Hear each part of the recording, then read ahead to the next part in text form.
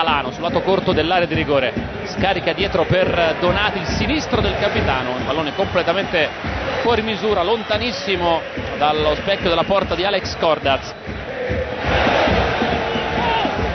Rivaldo rientra sul destro, ecco il cross dentro Donati, la parata di Cordaz, palla gol per il Bari al ventunesimo minuto. Il pallone dentro l'area di rigore, il colpo di testa tentato da Martinelli. Di Roberto, palla nel mezzo, attenzione la porta è vuota, Job! E il vantaggio del Cittadella con Thomas Job al 38 minuto.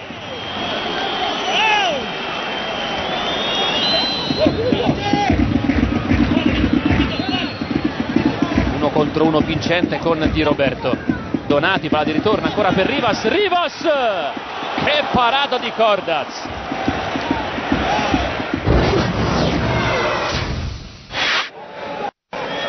Busellato prova ad aprire dall'altra parte, sta arrivando Di Roberto con il sinistro. Cittadella vicino al 2-0.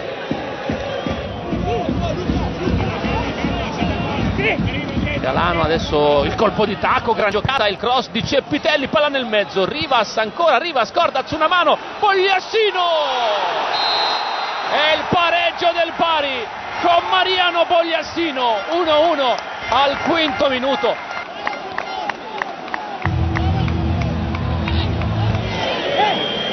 va con il suo destro che botta di Schiavon che sfiora l'incrocio dei pali Vito Francesco c'è spazio centrale per lui. Poi Ma attenzione alla velocità di Robert Ma. Se ne va Ma palla sul sinistro Ma! E la palla finisce fuori. De Falco ripropone per Marotta sul lato corto dell'area di rigore il cross arretrato. C'è Donati con il sinistro! Donati! 2-1 pari al 32 minuto. Palla dentro per Ma in area di rigore. Ma il pallonetto! Super gol di Robert Ma 2-2 al 35 un grande gol. Fischi la fine al San Nicola e 2-2 un punto che non risolve la questione per nessuna delle due squadre e stiamo per sentire Foscarini. Prima di sentirla però Foscarini abbiamo intravisto mentre vedevamo tutti gli highlights che le diceva la palla era fuori. Allora ci togliamo tutti il dubbio e vediamo se riusciamo a capire se quella palla veramente fosse uscita o no, parliamo del gol del pareggio eh, del, del Bari. Alessandro Costacurta abbiamo voluto vedere se c'è una ripresa particolare per capire. Sì, abbiamo questa ripresa particolare se, sembrava probabilmente fosse uscita, in realtà abbiamo questa immagine dei nostri fantastici tecnici che, che confermano che la palla invece era rimasta, era rimasta dentro, insomma, ecco. credo Così. che possa essere, essere no, confermato il gol, adesso non so se... Giusto, eh, e quindi Foscarini senza dubbio così come ce lo siamo tolti noi, perché è la prima volta che qua tutti insieme riusciamo a vedere questa, questa immagine. Andiamo allora da Foscarini, da Federica Masolini. Federica. Stavamo commentando anche noi questa azione, ha detto dalla panchina non ci sembrava uscita, il portiere ha insinuato qualche dubbio, adesso ha visto le immagini? No, se queste sono le immagini, se la tecnologia dimostra che è questa, cioè mh, mm, la palla non è uscita completamente, c'era il portiere che era molto vicino, sosteneva, sosteneva che la palla era uscita, così, così non sembra, però va bene, era un episodio che ero curioso di vederlo, tutto qua. Non è che poi a volte sia determinante valutare quest queste situazioni. Ecco, se questa è l'immagine è perfetta.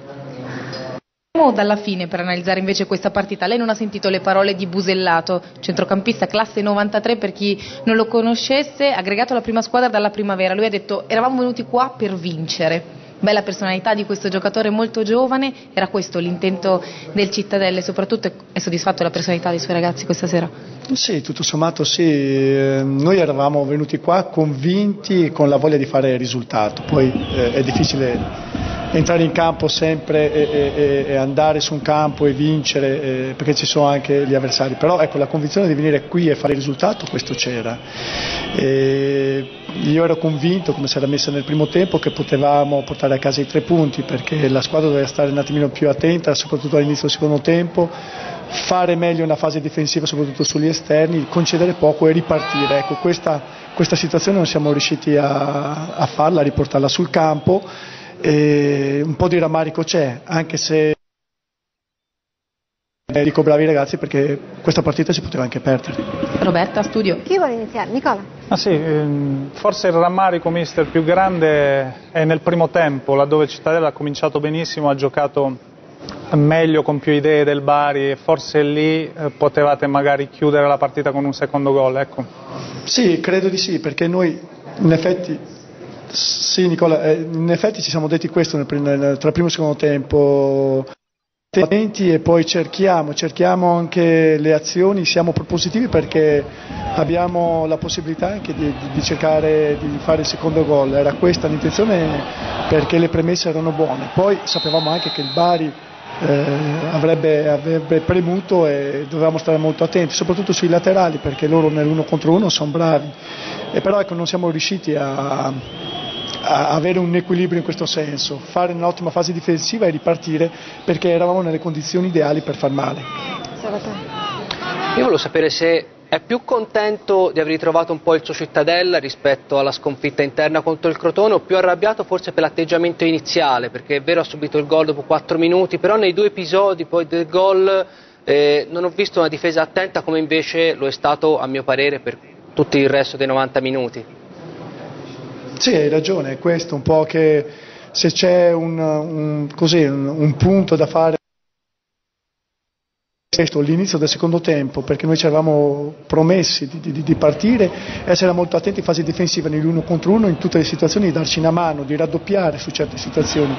E credo che abbiamo subito troppo. E, vedendo anche il primo tempo come avevamo giocato, come la, cioè, si muoveva la palla, c'era anche la possibilità, ripeto, anche di, di andare eh, eh, così, di raddoppiare eh, purtroppo non siamo riusciti, anche per merito del Bari sicuramente che, fatto, che, che, è partito molto bene, però qualcosa è mancato alla mia squadra e il rammarico è soprattutto questo. Grazie, grazie a Foscarini, grazie anche a Federica, a Federica Masolin, grazie. Il Bari invece Nicola, un Bari che eh, insomma partito l'abbiamo visto eh, non benissimo, fischiato anche da quei pochi spettatori che c'erano a San Nicola questa sera durante il primo tempo. Sì, un Bari da due facce perché il primo tempo proprio non, eh, non riusciva a costruire, confuso e il Cittadella ha giocato molto meglio e ripeto secondo me è lì che la partita con l'ingresso di Bogliacino mm con più qualità si vedeva Rivas saltare meglio l'uomo, i giocatori di qualità hanno fatto un pochino la, la, differenza, poi trovare subito il gol dopo 5 minuti ha dato più fiducia, il Bari ha giocato decisamente meglio e sul 2-1 peccato perché erano dei punti importanti, il Cittadella ci ha creduto fino in fondo, è un pareggio giusto. Concordi Salvatore quando mm, il Daniele Baroni e Claudio Nofri hanno detto un pareggio giusto? Eh, intanto che ci siamo divertiti alla fine, no? 2-2, 4 gol, avevamo detto all'inizio non segnano mai, non segnano mai in difesa, eccetera, eccetera, invece alla fine ci siamo divertiti, no? 4 gol, eh, vantaggio prima Cittadella, poi insomma rimontato il Bari, questo eh, sì, in realtà è chiaro che il risultato direi assolutamente è più che giusto, sì, sì, primo tempo appannaggio del Cittadella, il secondo tempo ha fatto un pochino meglio il Bari, direi come dicevi te all'inizio eh, nella tua premessa, un punto che soprattutto fa comodo al Cittadella, molto meno al Bari che da questa partita doveva uscire necessariamente con i tre punti, a mio parere. Tra poco andremo all'Olimpia. C'è Torrente con noi, buonasera Torrente, parlavamo del fatto che noi ci siamo divertiti nel vedere questa partita, crediamo lei si sia divertito di più sino al 2-1. Federica? Buonasera. Buonasera. Sì, infatti uh, fino al 2-1 bene, poi stavamo ancora festeggiando e abbiamo commesso un'ingenuità, um, abbiamo preso a 10 minuti alla fine un contropiede, eh, quindi abbiamo pagato uh, questa disattenzione, con un po' più di attenzione potevamo okay. uh, anche vincere la partita, anche se il risultato, il pari, il risultato più giusto. Visto nel primo tempo uh, noi abbiamo giocato molto, molto contratti, molti errori individuali sulla, sulla, manovra e il Cittadella ha fatto meglio meglio di noi. Noi nel secondo tempo grande reazione mh, mm, di carattere, con l'inserimento di Boiassino gli ha dato un po' più di qualità e peccato 2 a 1, ripeto, con un po' di, di, attenzione, non si può prendere un gol in contropiede a 10 minuti alla fine in casa. Quanto fa male a lei e ai ragazzi vedere un San Nicola così poco pieno? Eh, fa male, eh, ma questo dipende da noi, dalle nostre prestazioni, a dare entusiasmo a, alla gente. In questo momento eh, non ci sono i, i risultati ci aspettavamo tutti, uh, siamo anche in grande emergenza da, da un po' di tempo uh, con uh, tanti infortuni, eh, oggi le scelte erano obbligate, eh, i ragazzi hanno dato tutto, ripeto peccato eh, del 2-2. Roberta. Alessandro. No, prima volevo fare i complimenti a Torrente, credo che abbia la mia stessa età ma in forma, è in forma strepitosa, complimenti. E poi mh, sono d'accordo su, su, Bogliacino perché oltre a dare qualità, secondo me ha dato anche personalità, che dopo un primo tempo come quello probabilmente hai azzeccato la scelta, però io volevo farti vedere il gol preso, perché secondo me c'è un errore, c'è un errore abbastanza, eh, direi quasi fondamentale, perché probabilmente ha letto male la traiettoria poi in realtà sono, sono, stati bravi anche quelli del Cittadella, però probabilmente l'errore iniziale di Polenta probabilmente poteva essere, poteva essere fatto meglio. Sicuramente, eh, sicuramente la postura di, di Polenta era, era, messo male col corpo, eh, era una lettura secondo me anche facile. Sì. Volevo dire quello, sì, è vero. L'ha letta, letta male eh, con una postura sbagliata. Salvatore. Sì, volevo chiedere, eh, c'è la possibilità di vedere da gennaio Castiglio, Kutuzov o uno dei due eh, insomma, si, si, è letto anche questo in settimana, volevo sapere se lei aveva qualche informazione in merito eh, e poi eh, durante la settimana c'è qualcuno della società, della dirigenza che viene magari eh, a vedere gli allenamenti, a parlare con lei? Insomma, questo per noi è interessante capirlo. Sì, c'è la presenza del direttore sportivo, ehm, dell'amministratore delegato, ehm, quindi... Quindi la società è vicina? Sì, la società è vicina. Uh, poi per quanto riguarda Castiglio eh, Kutuzov eh, dieci giorni che si allenano con noi, stiamo valutando, eh, vediamo se a, a, gennaio possono essere... Ma soltanto a gennaio di... potrebbero già giocare da, da, da sabato prossimo? La domenica, no, anzi, Bari gioca domenica. Non è possibile questo, perché non sono nella lista. Erano fuori rosa. Nicola. Erano fuori lista. Certo, sì, sì, fuori lista. Buonasera mister, sono Ventola. E Ciao. Io volevo chiedere più che altro di insistere dal punto di vista mentale perché eh, si vede proprio che questa squadra comunque le qualità ce le ha. Quando si è sbloccato subito il secondo tempo dopo il gol di Bogliacino si è visto proprio un altro Bari con più qualità, proprio saltava l'uomo Rivas, Bogliacino. Ecco, mi auguro che lei faccia questo lavoro perché le qualità ci sono e da sbloccare mentalmente perché il primo tempo sembravano veramente contratti. Molto contratti sai cosa vuol dire.